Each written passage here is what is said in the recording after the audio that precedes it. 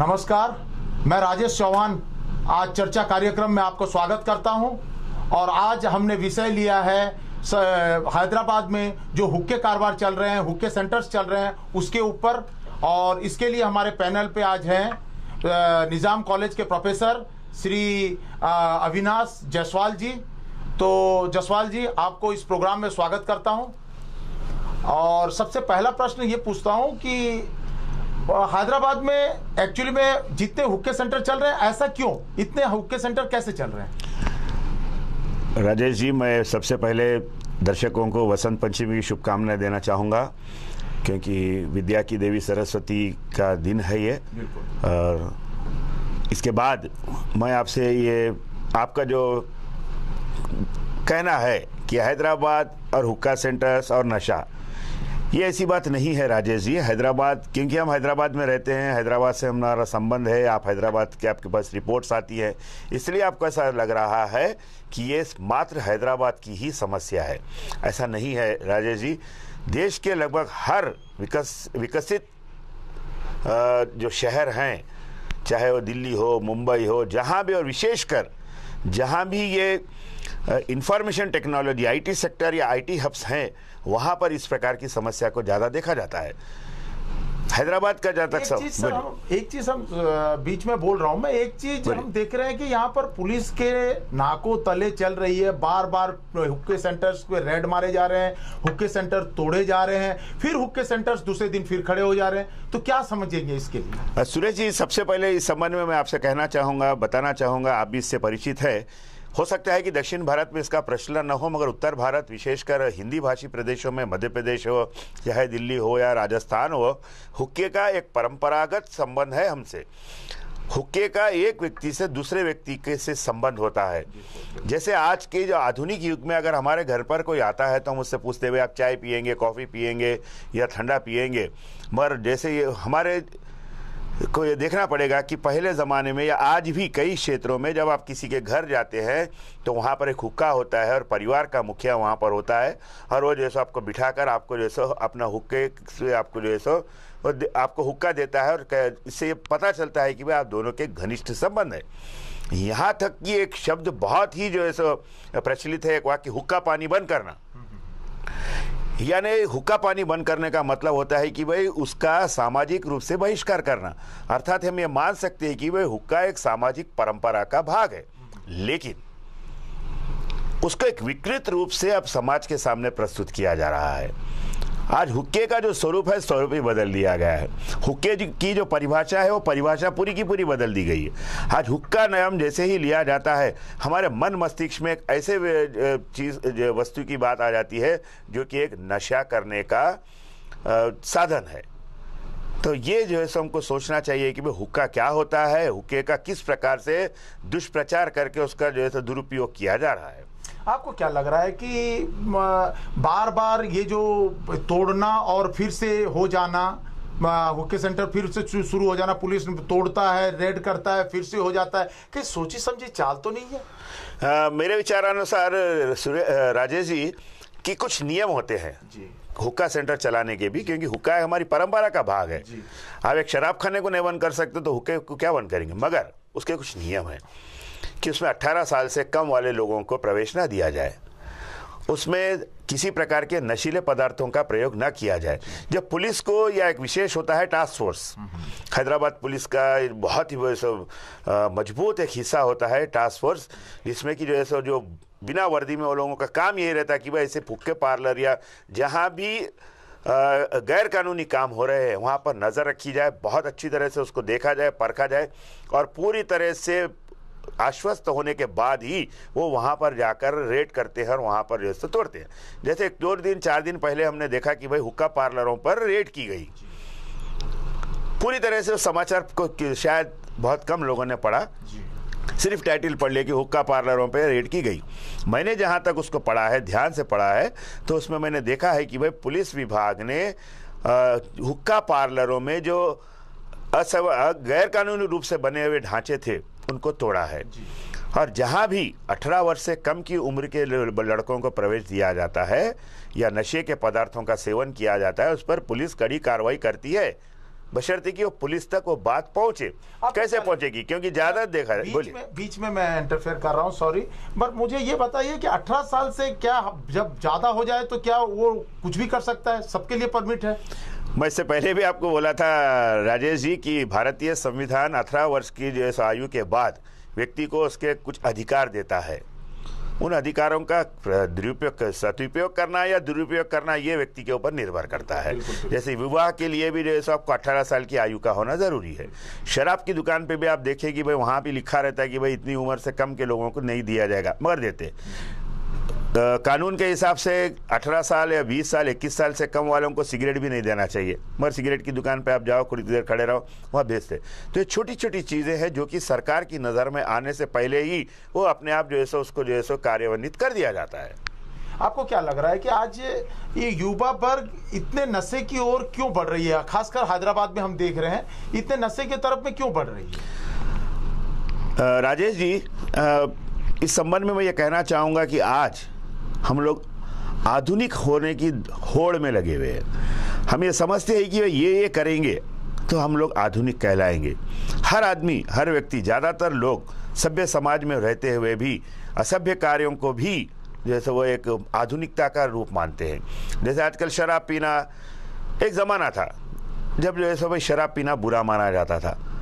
आजकल कई माँ बापों को देखिए आप, उनके मानव रहता है कि मेरा बच्चा शराब पीता है। मामूली चीज़ है, आजकल यंग जनरेशन है, ये जनरेशन गैप है, चलता है बोलते। इस पर ध्यान देना पड़ेगा। ये आधुनिकता की जो होड़ है, उस होड़ से हमको देखना चाहिए कि भाई, हम जिस आधुनिकता को जो है सभ्यता के रूप में मानते हैं, क्या उसमें हमारा कोई अहित होने की संभावना है? विशेषकर अपनी संतान को। तो सीधे तौर पर यदि आप बोले तो इसमें माँ बाप के बहुत बड़े रोल हुए कि अपने बच्चे को नशा से कैसे करके दूर रखें या गलत काम से कैसे दूर रखें। ये तो बिल्कुल जग ज़ाहिर बात है। बिल्कुल सभी जानते हैं कि मनुष्य की सबसे बड़ी जो शिक्षक होती है, वो उसकी माँ होती है। और सब और सबसे बड़ी पाठशाला, पहली पाठशाला उसका परिवार होता है। आपको क्या लग रहा है? एक चीज़ और हम गौर तलब करने वाली बात यह है कि जितने एजुकेशन सेंटर्स हैं, जितने हुक्के सेंटर्स और नशे के जो भी सेंटर्स खुल रहे हैं, इसके आसपास ही खुल रहे हैं। तो क्या पुलिस इसके ऊपर में खास कार्रवाई नहीं करनी चाहिए? हुक्का सेंटर अलग है। हुक्का सेंटर में नशीले पदार्थों का सेवन अलग चीज़ है। हुक्का सेंटर्स को तो आप बंद नहीं कर सकते, क्योंकि कुछ का नियम के साथ वो भी करते हैं, क्योंकि वो भी एक जो है सो एक साधारण सी बात है, परंपरा से संबंध है। मैं इसमें आपको सुरेश जी, मैं एक बचपन में कहानी पढ़ा था, आप भी पढ़े होंगे किताबों में लिखी गई है, कि एक चोर रहता है जिसको कि फांसी की सज़ा होती है। तो उससे पूछा जाता है कि भाई तेरी अंतिम इच्छा क्या है? तो वो बोलता है कि भाई मेरी माँ के कान में मैं कुछ बोलना चाहता हूँ। जब उसकी माँ उसके नज़दीक जाती है तो उसका कान काट लेता। और वो बोलता है कि अगर तूने मुझे पहली बार जब चोरी की थी तभी मुझे रोका होता तो आज मुझे फांसी नहीं होती। तो कई माँ बाप जान कर भी जो है सो इससे थोड़ा अनजान होते हैं और ये समझते हैं कि भाई ठीक है, एक आध बार हो गया होगा। नंबर एक। दूसरी चीज़, कुछ माँ बाप ऐसे हैं जिनको कि इस बारे में ये मत, ये जो लस, जो लत है हुक्के की हो या नशे की हो आपको ज़्यादातर ऐसे वर्गों में मिलेंगी जो बिल्कुल निरंकुश है जो कि आर्थिक रूप से बहुत स्वतंत्र है बहुत शक्तिशाली है और या तो जो है आधिकारिक रूप से शक्तिशाली है या राजनीतिक रूप से शक्तिशाली है। आज आप देखिए जब भी कोई रेड होती है पकड़ा जाता है मैं इस संबंध में फिर आपसे बोलूँगा कि युवा वर्ग का मतलब ये नहीं है कि सिर्फ़ बच्चों के लिए ये। युवक युवती युवतियाँ भी इसमें बराबर की जो है तो आजकल है। वहाँ देखा जाता है कि कोई भी समाचार जब छपता है या मीडिया में बताया जाता है तो उसमें एक लाइन हर समाचार में मैंने पढ़ी है राजेश जी कि इसमें कई बड़े राजनेताओं और अधिकारियों के बच्चे हैं। अर्थात इससे ये मालूम होता है कि जो माता पिता अपनी संतान की ओर ध्यान नहीं देते हैं, वो ये समझते हैं कि है कि हमारी ज़िम्मेदारी वह एक हज़ार दे दिए, दो हज़ार दे दिए, लाख रुपए दे दिए, या एक एटीएम कार्ड दे दिया, उसको या एक डेबिट कार्ड दे दिया और हमारी ज़िम्मेदारी खत्म हो गई। वो माता पिता अपने बच्चों को जो है उनको अपने संयम में रखना चाहिए, देखना चाहिए। संयम का मतलब ये नहीं है, मैं ये नहीं बोल रहा हूँ कि उनको जेल में बंद कर दिया जाए या कमरे में बंद कर दिया जाए। उनको स्वतंत्रता दी जाए, क्योंकि युवा वर्ग की मानसिकता ऐसी होती है, राजेश जी कि वो जो है सो बुराई की ओर, बुरी चीज़ों की ओर, बुरी बातों की ओर बहुत जल्दी आकर्षित होता और उसमें से निकलने में या तो उसको बहुत समय लगता या कभी कभी वो उसके बाहर ही नहीं आ सकता। माता पिता का एक और विश्वास होता है, आपका भी है, मेरा भी रहता। मैं सोचता हूँ कि भाई कोई कुछ भी करे भाई, कोई कितना भी खराब हो, मेरी संतान ऐसा नहीं कर सकती है। वो ये नहीं देखती है कि वो किसके साथ जा रही क्या कर रही है, क्या कर रहा है। वो ये समझती है कि मेरी संतान कुछ नहीं कर मगर, एक पुरानी कहावत है, काजल की कोठरी में कैसे भी सयान हो जाए, एक लीख लागे है पे लागे है पे लागे। यानी कितना भी सयाना व्यक्ति, क्यों ना हो? A man is known through इस कंपनी एक व्यक्ति के संगति का उस पर प्रत्यक्ष या अप्रत्यक्ष प्रभाव पड़ता है, राजेश जी। तो माता पिता को ये देखना चाहिए। मैं ये नहीं बोल रहा हूँ कि उनको जैसे बिल्कुल ताले में बंद करके रखना चाहिए या बिल्कुल एकदम से संयम में रखना चाहिए। छूट दीजिए। हम पतंग भी उड़ाते। अभी संक्रांति गई। कितनी ढील देते राजेश जी हम लोग? हाँ, जहाँ तक नुकसान नहीं हो रहा वहाँ तक ढील देना। जहाँ नुकसान होती है तो उसको डोर खींचनी चाहिए। यह माता पिता को ध्यान रखना चाहिए। सर मैं और एक चीज़ जानना चाहता हूँ कि जितने युवा वर्ग जितने भी आ रहे हैं मैक्सिमम फॉरेनर्स जितने भी रह रहे हैं ये लोग या तो बेचने में शामिल रह रहे हैं जब भी पुलिस पकड़ रहा है या तो फिर उस कारोबार में डायरेक्ट इनडायरेक्ट किसी तरह उन लोग का सपोर्ट रह रहा है या उन लोग मिले हुए रह रहे हैं। इसके बारे में आपका क्या कहना है? कुछ देशों में इस, जैसे नशे में, जैसे हम हुक्के से अब थोड़ा हटेंगे, और भी नशीले पदार्थ है, जैसे गांजा है, अफीम है, कोकीन है, वगैरह वगैरह है। सबसे पहले मैं चाहूँगा कि पुलिस विभाग और प्रशासन, सरकार, जो जिम है, जो बॉडी बिल्डिंग के जो जिम है, उनके ऊपर नकेल कसे। कि वहाँ पर जिस प्रकार से मैंने सुना है कि वहाँ पर दवाइयाँ ली जाती है वहीं से जैसे उसको आदत पड़ती। जैसे अफीम है गांजा है चरस है कोकीन है ये तो नाम मैंने सुने हैं किस प्रकार से होते नहीं। और सबसे बड़ी चीज़ है जैसे आपने बार बार ये कहा है जिससे मेरी मुझे थोड़ी जो है सो तकलीफ़ पहुँची है राजेश जी कि हैदराबाद नशा मुक्त कब होगा हैदराबाद में नशा ऐसा नहीं है। ये सारे देश की समस्या है। आज अगर आप पंजाब के चुनाव देखें तो वहाँ पर नशे से युवकों को दूर करने का एक राजनीतिक मुद्दा बना है। राजनीतिक पार्टियाँ उस मुद्दे को लेकर चल रही है कि हम अगर हमारी सरकार बनेगी तो हम युवाओं को नशे से दूर करेंगे। क्यों? तो सर, आपको क्या लग रहा है कि राजनीतिक पार्टियाँ, आप सही बात फरमा रहे हैं तो राजनीतिक पार्टियाँ इतने अभियान छेड़ रहे हैं तो नशा मुक्त अभियान ऐसा क्यों नहीं छेड़ते? जिसके कारण कम से कम युवा वर्ग को कुछ तरीके से रोक सके, किसी तरीके से रोक सके उन लोग को? राजेश जी, मैं इस बारे में ज़्यादा नहीं कहता, यही कहूँगा कि ये तो चुनावी वादे हैं। जब चुनाव आते हैं तो उस समय सब बातें की जाती है। उसके बाद जो है, सो सब अपने अपने कार्य में व्यस्त हो जाते हैं। फिर जब चुनाव आते हैं तो फिर उनको उस बात की याद आती है। अगर हमारे देश के कुछ नेता, जो कि अपनी ज़िम्मेदारी समझ ले। मैं ये नहीं कहूँगा कि सारे राजनेता अपनी ज़िम्मेदारी नहीं समझते हैं, मगर सभी नेता अपनी ज़िम्मेदारी समझें और ये समझें कि भाई आज का युवक, कल का एक वरिष्ठ नागरिक होगा, एक वरिष्ठ व्यक्ति होगा, एक समझदार होगा, देश की उन्नति, विकास, प्रगति, ये सब का जो है सो एक ज़िम्मेदारी उसके ऊपर वो होगी तब ही जो है सो हम लोग और राजनेताओं को अपनी नैतिक ज़िम्मेदारी समझ रहे हैं। राजनेता अपनी ज़िम्मेदारी कहाँ समझते हैं? सिर्फ़ एक दिन आता है उस दिन वो जो है नशाबंदी नशा मुक्ति दिवस मनाते हैं और उसके बाद वो भूल जाते हैं। बिल्कुल बिल्कुल एक दिन बस। एक दिन? क्या इससे नैतिक ज़िम्मेदारी खत्म हो जाती? नहीं होती। तो इसके लिए आपको क्या जहाँ तक आप सरकार को जिम्मेवार मानते हैं? सरकार राजनेताओं से बनती है। सरकार पूरे हर जगह पे तो नहीं रख सकती ना। क्या जब जब चुनाव आते मैं पहले भी मैंने परसों भी चर्चा में कहा जब जब चुनाव आते हर पार्टी बोलती है कि हम युवाओं को आगे बढ़ाएँगे युवाओं को टिकट देंगे युवाओं को चुनाव में ठहराएँगे युवाओं को से हम काम लेंगे। पर युवाओं का भविष्य किस प्रकार से निर्माण कर सकते हैं? उसके लिए क्या खाली एक लैपटॉप देने से युवाओं का भविष्य बन जाएगा? नहीं। युवाओं को आर्थिक रूप से संपन्न करने के बजाय आप नैतिक रूप से उनको संपन्न करने की बात भी नेताओं को सोचनी चाहिए। एक लैपटॉप दे दिए एक गाड़ी दे दिए दो टाइम जो है सो खाना खिला दिए। और वो समझते हैं कि भाई हमारी ज़िम्मेदारी खत्म। मेरे साथ एक दस युवा रहे तो बस। वो ये देखती है कि मेरे साथ एक दस युवा रहे, बस। और ये नहीं देखती कि भाई जो बाकी के युवा है, जिनका मेरे से अप्रत्यक्ष रूप से भी संबंध रहा है, अपना एक छोटा सा चुनाव क्षेत्र रहता और कोई बड़ा नहीं रहता। आप नहीं समझते कि आपको क्या इस बात का, उनको ज्ञान नहीं रहता कि भाई कहाँ पे क्या हो रहा है?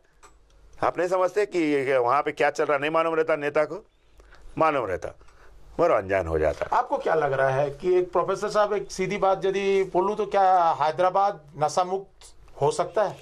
मैं आपसे फिर बोलूँगा राजेश जी हैदराबाद है, नशा मुक्त हैदराबाद नशा मुक्त मत बोलिए आप। कितने परसेंट होंगे?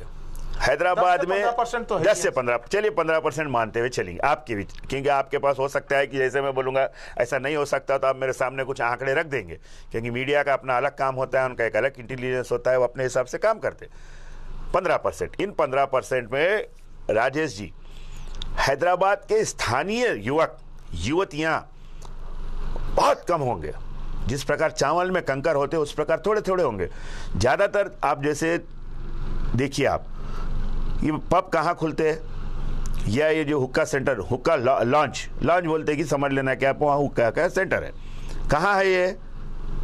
आपको बशीरबाग पे नहीं है, आपको काचीगुड़े चौरस्ते पे नहीं है, आपको चार मीनार पे नहीं है।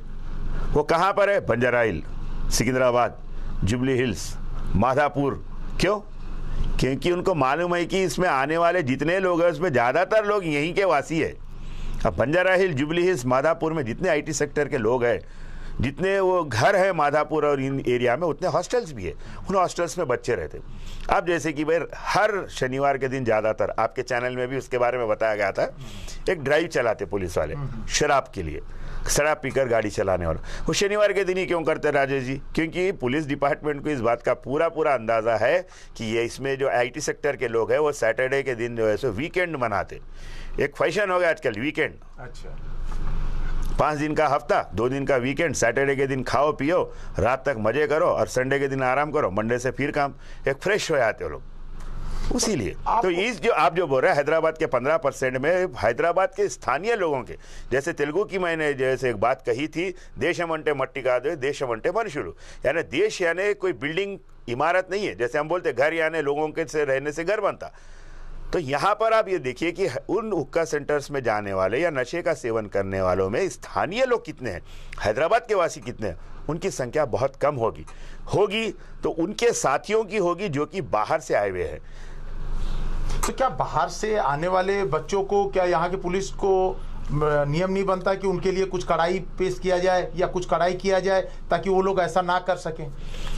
नियम है और उसके ऊपर कार्रवाई की जाती है। ऐसा नहीं है कि कार्रवाई नहीं होती। तो फिर भी ये बार बार बार बार नशे का मैंने जब भी हम देख रहे हैं कल परसों के अंदर में बहुत बड़ा कंसर्नमेंट पकड़ में आया ड्रग्स का जिसमें दो फॉरेनर्स पकड़ में आए हैं। तो ऐसा बार बार हम देख रहे हैं कि जब भी आ रहा है तो इसी टाइप का बाहर वाले आके ये कर रहे हैं। तो क्या उन लोग के लिए कोई लगाम ऐसा नहीं किसा जा सकता? राजेश जी नियम तो कानून तो उनके लिए भी वही है जो कि भारतीय के लोगों के लिए है। इसमें सबसे बड़ी ज़िम्मेदारी थी जैसे मैं हैदराबाद में मैं जिस कॉलेज में काम करता हूँ निज़ाम कॉलेज जो कि लगभग 130 साल पुराना कॉलेज है और देश के सबसे पुराने कॉलेजों में से एक कॉलेज है। वहाँ पर साढ़े चार सौ विद्यार्थी है, जिसमें करीब करीब 1100 से बारह सौ बाहर के बच्चे हैं। और जो बाहर से आए हुए बच्चे रहते हैं, उनके तीन चार ग्रुप्स रहते हैं। एक ग्रुप रहता टोली चौकी में। मैं बोलता हूँ आपको, हैदराबाद में इनके ग्रुप्स कहाँ कहाँ रहते मेजरली टोली चौकी, सैनिकपुरी, तारनाका और एक आध एरिया में रहते तो वहाँ पर इनकी जो एम्बेसीज है एम्बेसी का काम क्या रहता? बोलिए आप। उनका काम नहीं है नेचुरल नेचुरल नेचुरल बिल्कुल। तो ये दूतावास जो होते हैं उनका ये काम है कि वो उनके ऊपर एक कड़ी नज़र रखे और उनसे ये बोले कि अगर आप किसी भी प्रकार की गैर कानूनी काम में अगर यहाँ पे लिप्त होते हैं तो आपको इमीडिएटली भेज दिया जाएगा। तो ऐसा क्यों नहीं हो पा रहा है? नहीं हो पा रहा क्योंकि सरकार लाती है उनको और भारतीय कानून के हिसाब से उनको जो है सो सजा देने का प्रयास करती है। तो ये आखिर घूम फिर के यदि सीधी तरीके से यदि बोलेंगे तो घूमने का ज़रूरत ही नहीं है कि स्टेट फॉरवर्ड ये ये बच्चे लोग हमारे बच्चे को बिगाड़ रहे हैं। बिल्कुल। तो इसको रोकने के क्यों व्यवस्था नहीं किया जा रहा है? उसमें भी सभी लोग वैसे नहीं है ना। आप देखिए आप जितने हैं एक दो, तीन एक छोटे छोटे कंट्रीज़ है जहाँ के बच्चे ही इस प्रकार के जैसे चीज़ों में लिप्त होते हैं। क्योंकि उनको वहीं से मैं समझता हूँ कि इसकी आदत होती तो होती वो कंट्रियों को रोकने का कोई व्यवस्था क्यों सरकार नहीं कर रहा है? सरकार उस कंट्री को नहीं रोक सकती ना। आप जैसे देखिए आप डोनाल्ड ट्रंप है कुछ जो है सो नियम बनाए तो शुरू हो गए। तो एक लोकतंत्र में हम लोग किसी देश से जो है सो अपने संबंध कुछ बच्चों की गलत कामों की वजह से नहीं रोक सकते ना राजेश जी? अच्छा मैं एक प्रश्न आपको जरा सा एज ए शिक्षक रखता हूँ ज़रूर। कि शिक्षक खास करके मूल रूप से बच्चे को बनाने में एक मिट्टी का घड़ा को जैसे बना के मटकी बनाया जाता है और कुम्हार करता है ये काम वैसे ही शिक्षक करता है सिर्फ़ बच्चे लोगों के लिए। तो शिक्षक लोग क्या चाहें तो ये बच्चे लोग को सुधार नहीं सकते? आप तो दिन भर बच्चों के साथ ही रहते हैं। आप क्या सम, आप क्या समझते राजेश जी हम लोग नहीं चाहते? हम चाहते हैं क्योंकि हमको मालूम है कि इस वस्तु से नशा नहीं होगा उसकी मानसिकता का नशा है। जैसे इसके पहले भी मैंने एक बार कहा था आपसे फिर बोलूँगा मैं आपकी नशा शराब में होता तो नाचती बोतल। तो जब तक मन इस बच्चों के मानसिकता में परिवर्तन नहीं आएगा कुछ इसमें योगदान पिक्चरों का भी है। जैसे मैं दम मारो दम, हरे राम हरे कृष्णा एक मूवी आई थी, उसमें एक जो है गाना था दम मारो दम, मिट जाए गम अब लोगों को यही याद रहेगा, उसके बाद वो नहीं देखे कि भाई उसने क्या कहने का प्रयास किया, उसने ये कहने का प्रयास किया है कि भाई जो है सो, नशीले पदार्थों की वजह से बहुत सारे जो है सो, नुकसान होता है, परिवार बिखर जाता है, बहुत सारी समस्याएँ आती है। तो इस प्रकार के गानों को भी दूर रखना। अभी कुछ दिन पहले एक पिक्चर आई थी, गाना बहुत फूहड़ सा गाना था अक्षय कुमार की शायद पिक्चर थी मैं समझता हूँ मुझे याद नहीं है। तेरा प्यार प्यार प्यार हुक्का मार। अब बच्चे को क्या समझ में आता? हुक्का है ना बहुत अच्छी चीज़ समझता पिक्चरों में आज भी देखो आप एक हीरो को बताते हैं। बैन नहीं करनी चाहिए सेंसर को? बिल्कुल बैन करनी चाहिए। अगर ऐसी शब्द आते हैं जो कि जो है सो गलत मानसिकता को जो है सो उत्पन्न करते तो बैन करना चाहिए। जैसे पिक्चर में भी मैंने देखा है कि जो है सो एक हीरो को बताते सिगरेट पीते हुए। और नीचे एक लाइन डाल देते कि भाई सिगरेट पीना स्वास्थ्य के लिए हानिकारक है। आप हीरो को बता रहे क्यों? क्योंकि जो युवा वर्ग होता है उसका एक आदर्श रहता है। अगर वो एक हीरो सिगरेट पीता है तो वो, वो सिगरेट पी के मैं भी हीरो समझता। बिल्कुल शराब है। शराब पीते हुए बताते और वहाँ लिखा जाता है कि भाई शराब पीना स्वास्थ्य के लिए हानिकारक है। उस सीन को कट क्यों नहीं किया जाता? कट कर दो। तो आपको लगता है कि सरकार भी ये सारा मिला जुला सरकार वाला चक्कर चल रहा है? सरकार तक ये बात भी पहुंचनी चाहिए ना राजेश जी? कौन? सरकार तक बात ले जाने वाले नेता है। नेता को समय कहाँ है? नेताओं को चाहिए कि भाई नैतिक रूप से भी जैसे सुदृढ़ बनाने की कोशिश करनी चाहिए उनको बच्चों को। अपने अपने क्षेत्र में जहाँ जहाँ ऐसे कार्य होते हैं या कुछ एक क्षेत्र में एक एमएलए के क्षेत्र में हो सकता है कि ऐसे कितने बच्चे होंगे भाई आप बोलिए सौ बच्चे होंगे। सौ बच्चे क्या सौ बच्चों में से वो जो है सो उनको बुला के समझा के काम नहीं करा सकता? समझा सकता अगर सौ में से अगर वो पचास को भी अगर कन्विंस कर सका कि भाई ये गलत काम है तो क्या नैतिक ज़िम्मेदारी उसकी पूरी नहीं होगी? तो हमारी आपने कभी देखा आपके मीडिया कवरेज में सूचना में कहीं आया कि कोई है जो एमएलए है या जो सो राजनेता है? हाँ ये अब जैसे एमएलए बनेगा तो पाँच साल तक वो रहेगा एमएलए नहीं बना तो वो बोलेगा कि मेरी ज़िम्मेदारी क्या है? सिर्फ़ चुनाव में यूज़ कर लेना छोड़ देना युवाओं को ये है मगर युवाओं का किस प्रकार से भला हो सकता है? एक लैपटॉप दे दिए युवा हो जाता क्या? युवाओं को सबसे बड़ी चीज़ है उसकी मानसिकता में परिवर्तन लाना, उसको इस बात का अंदाज़ा कराना कि यह क्या सही है और क्या गलत है। आप देखो, आप जितने ये पकड़े जाते लोग, इनकी उम्र आपको 17 18 से लेके 20 22 के बीच की रहती इस समय में उनकी मानसिकता जो रहती है एक उपजाऊ ज़मीन के जैसे रहती है। आपने कुम्हार के जैसा बोले हैं मतलब मानसिकता बोलता हूँ, उपजाऊ ज़मीन। जैसे बीज उस पर डालेंगे, उसी प्रकार से उसमें झाड़ होगा। तो उस एज की बच्चों के ऊपर ध्यान देना न सिर्फ़ शिक्षक वर्ग का न सिर्फ़ माता पिता का हर एक का। जैसे अगर हम जा रहे समझो राजेश जी। क्या आपने कभी देखा है या आपने भी किया है? ना मैंने किया है। कि भाई कि वो कोई बच्चा जा रहा है छोटा बच्चा है जिसकी उम्र 18 से कम है सिगरेट पी रहा है या शराब पी रहा है तो क्या हम रोकते हैं? बिल्कुल नहीं। हम बोलते कि मैं मैं अपन क्या करेंगे भाई जिसकी औलाद है उसको फ़िक्र नहीं है। हम लोगों में भी इस बात की कमी है। मैं तो उसको क्या लगता है? आपको माँ बाप भी कसूरवार हैं? माँ बाप इस बात का ध्यान देना क्योंकि हुक्का जो होता है, उससे नशा नहीं आता, उससे बो, और दुर्गंध नहीं आती। क्योंकि एक ऐसा मुझे जो पता चला है, इसके बारे में जैसे आपने बोला, मैं इसके बारे में पता किया हूँ।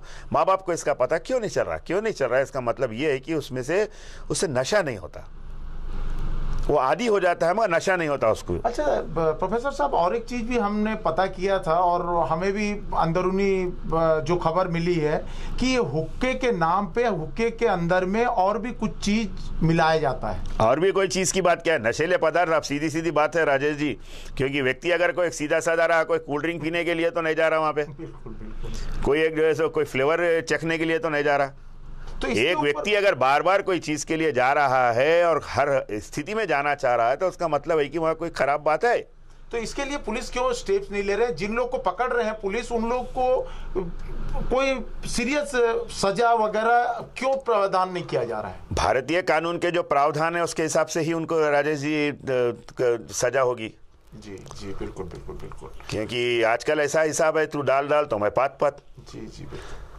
तो जब तक लोगों की मानसिकता में स्वच्छंद रूप से ये बात नहीं होगी कि ये चीज़ गलत है तब तक सिर्फ़ हुक्का ही या कोई नशा ही नहीं किसी भी जो है सो खराब चीज़ नशे को दूर करने में हम जो है सो सफल नहीं होंगे। आपको क्या लग रहा है? जी प्रोफेसर साहब आप तो यहीं के हैं हैदराबाद के ही हैं हैदराबाद का मिट्टी से बने हुए हैं तो आपको क्या लग रहा है हैदराबाद नशा मुक्त हो पाएगा? हैदराबाद अभी भी नशा मुक्त है राजेश जी। क्योंकि यहाँ पर जो नशे के जितने भी लोग पकड़े जाते हैं, आप अब चलिए। मैं तो खैर आदि नहीं हूँ, आपको भी पता है उस बात का, सभी हमारे शिष्य भी जानते हैं। आप एक दिन शनिवार के दिन चलिए, आप, हम और आप जो है सो हुक्का सेंटर्स पे और पब में जाके देखेंगे कि वहाँ पर स्थानीय लोग कितने हैं। मैंने आपको लग रहा है कि स्थानीय लोगों के द्वारा कि स्थानीय लोग इसमें शामिल नहीं रहते हैं? सारे बाहर वाले ही नहीं नहीं नहीं भैया ने सारे के सारे नहीं बोला मैं। बाहर से आए हुए ऐसे लोग जियो की बिल्कुल निरंकुश रहते अगर एक हज़ार लोग समझे आप एक दो लाख लोग बाहर से आए तो उसमें से पचास हज़ार डेढ़ लाख लोग तो बिल्कुल बेचारे अपनी ज़िंदगी चलाने को आए हैं। कुछ ऐसे रहते हैं जिनको की समझ में नहीं आता कि पैसा खर्च कैसा करना। निरंकुश किसी प्रकार वो ये समझते हैं कि भाई शनिवार का दिन आया है तो एंजॉय फॉरेन कल्चर गोवा ये सब बातें होती है। तो, तो इसके ऊपर ध्यान देना चाहिए कि जो लोग बाहर से आए हैं उनको भी थोड़ा सोचना चाहिए कि वो कहाँ आए। आपको हैदराबाद में चार मीनार में कहीं दिखेंगे कि आपको हुक्का सेंटर है? नहीं है। बेगम बाज़ार में है हुक्का सेंटर नहीं है। बशीरबाग में है नहीं है आपको। काचीगुड़े पे है नहीं है आपको। चिकड़पल्ली में नहीं है मशीराबाद नहीं है। यहाँ पर जहाँ पर भारत यानी हैदराबाद के वासी ज़्यादा रहते हैं वहाँ पर ये सब नहीं खोलते। क्योंकि उनको मालूम है कि वहाँ ये चलने वाली चीज़ नहीं है क्योंकि लोग डरते। ये ले आके कहीं दूर खोलते। और रुपए में निन्यानवे कम से कम पचानवे प्रतिशत माँ बाप इस बात का ध्यान रखते हैं देखते हैं कि मेरी संतान कहाँ जा रही है किसके साथ जा रही है कहाँ कब आएगी। ये ध्यान रखते एक दो चार पाँच परसेंट है जो कि बिल्कुल आर्थिक रूप से स्वतंत्र है या जिनके माँ बाप को इतना समय नहीं है कि अपनी संतान का ध्यान रखे वो इन सब चीज़ों की तरफ़ जाते हैं। हम एक चीज़ देखते हैं प्रोफेसर साहब कि ये जितने भी नशे का आदि होते हैं या नशे का ये जो टोटल सर्कल जो चल रहा है ये सारा कॉलेज और स्कूल के आसपास ही देखने को मिलते हैं। स्वाभाविक है इस बात के ऊपर सरकार को और पुलिस प्रशासन को थोड़ा ध्यान रखना चाहिए कि अगर ऐसी जगहों पर इससे हुक्का सेंटर्स खुलते हैं तो उनको ऊपर विशेष रूप से जो है सो कड़ाई से पालन करना चाहिए और करते भी है। कॉलेज कर्तुपक्ष का भी ये चीज़ के बारे में चिंता करनी चाहिए। वो लोग भी नहीं करते इस बात को आप कुछ नहीं कर सकते ना प्रशासन। देखिए आप कई कॉलेज ऐसे हैं जहाँ पे मैं आपको उदाहरण दूँगा हैदराबाद में कि जो कि मैं क्योंकि सरकार की विजिलेंस विभाग में था मैं मुझे सरकार ने उसमें मन उस, मुझे प्रशासन की ओर से मुझे उस टीम में रखा गया जिसमें मैं डीएसपी के साथ काम किया हूँ। कई ऐसी जगह हैं जहाँ पर जो है नीचे शराब की दुकान है बाजू शराब की दुकान है और बिल्कुल लक्के डिग्री कॉलेज है।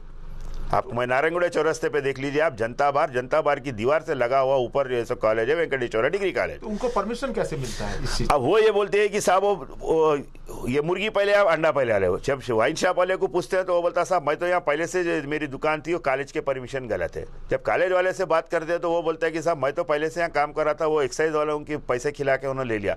तो इन सब बातों का ध्यान रखना चाहिए। किसी भी शिक्षण संस्थान के पास नज़दीक में ऐसी किसी भी जो है सो क्रिया कर, काम करने वाली संस्थाएँ नहीं होना चाहिए जिससे कि युवा वर्ग की एक परसेंट भी बिगड़ने की संभावना हो।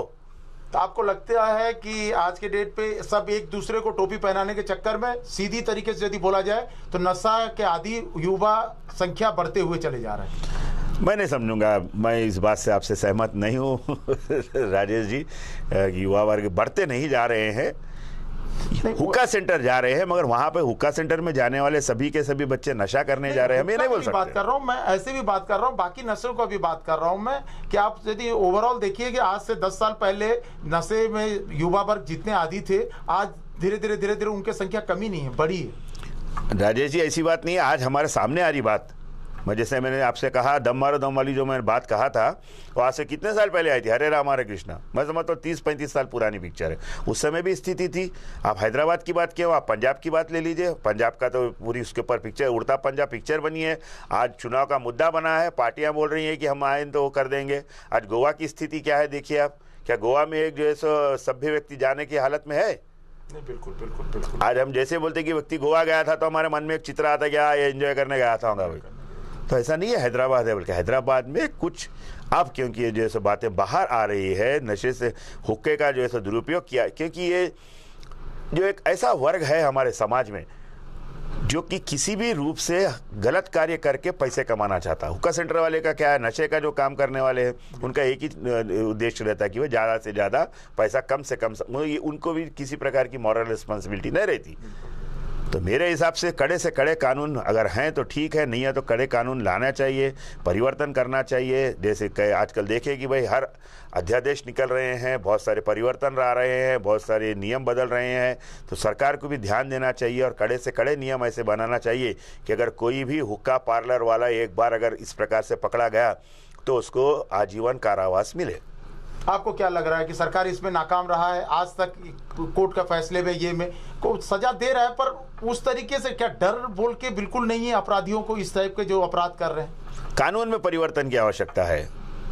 क्योंकि हुक्का है, हुक्का में छोटी मोटी नशे की बात है वो क्या रहता है, कुछ कैसे प्रयोग करते भी नहीं मालूम। और जब तक जो है सो बच्चे को ले आके टेस्टिंग करा के करेंगे, जब तक जैसे मैंने कहा हुक्का का जो रहता है, जैसे सिगरेट है, सिगरेट से ज़्यादा आपको अंदर तक नहीं जाता हो।